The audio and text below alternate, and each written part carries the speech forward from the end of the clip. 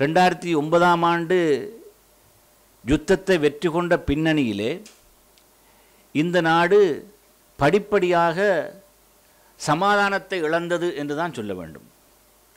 யுத்தத்தை வென்று சமாதானத்தை இழ இழக்கிற ஒரு சூழல் இவ்வளவு வேகமாக உருவாகும் என்று யாரும் எதிர்பார்க்கவில்லை.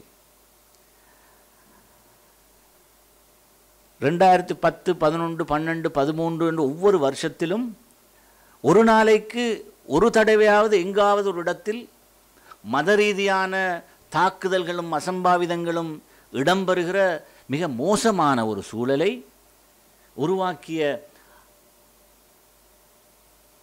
ஆட்சியாளர்களை நாங்கள் ஒதுக்கிவிட்டு புதிய ஒரு அரசியல் கலாச்சாரத்தை உருவாக்கியது மாத்திரமல்ல வெளிப்படைத்தன்மை உள்ள ஒரு அரசியல் கலாச்சாரத்தை அறிமுகப்படுத்தி இருக்கிறோம் இந்த நாட்டில் இடம்பெற்ற மத ரீதியான அசம்பாவிதங்கள் முடிவுக்கு கொண்டு வரப்பட்டது மாத்திரமல்ல. சர்வதேசத்துக்கு முன்னாலே ஒவ்வொரு வருஷமும் போய் குற்றவாளி கூண்டிலே நிற்கிறவர்கள் மாதிரி அவமானப்படுத்தப்பட்ட ஒரு தேசியமாக இருந்த நாங்கள் இப்பொழுது தைரியமாக அதே சர்வதேச சமூகத்துக்கு முன்னால் நிலைத்து நிற்கிற ஜனநாயக பாரம்பரியங்களுடனான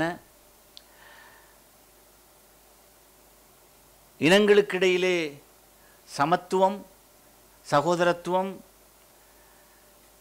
இணக்கப்பாடு உருவாகிற ஒரு புதிய அரசியல் கலாச்சாரத்தை உருவாக்குற தகைமை இந்த ஆட்சியாளர்களுக்கு இருக்கிறது என்று பிரதானமான வல்லரசுகள் உட்பட இந்த நாட்டுக்கு வருகிற மிக முக்கியமான ராஜதந்திரிகள் எங்களுடைய ஜனாதிபதிக்கும் பிரதமருக்கும் பாராட்டு சொல்லுகிற ஒரு புதிய யுகத்தை நாங்கள் உருவாக்க முடியுமாக இருந்திருக்கிறது.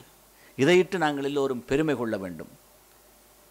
இன்னும் ரெண்டு வருஷத்துக்கு ஜெனீவாவுக்கு முன்னாலே போய் நின்று கைகட்டி நிற்க வேண்டிய அவசியமில்லை. இந்த நாட்டிலே ஒரு இணக்கத் தீர்வை கொண்டு வருவதற்கான புதிய முயற்சிகளை சர்வதேச அங்கீகாரத்தோடு நாங்கள் அமுல்படுத்துவதற்கு தயாராகி வருகிறோம்.